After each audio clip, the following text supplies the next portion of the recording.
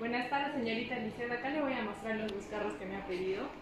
Este es el primer carro, que es el blanco, es el Mercedes-Benz 280S. Como veis, está totalmente impecable.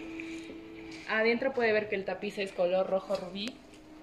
Y está totalmente limpio y uniforme.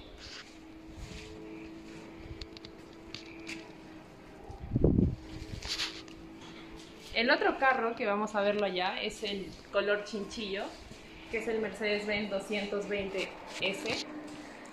De la misma manera va a proceder a ver el tapiz adentro, que es color blanco.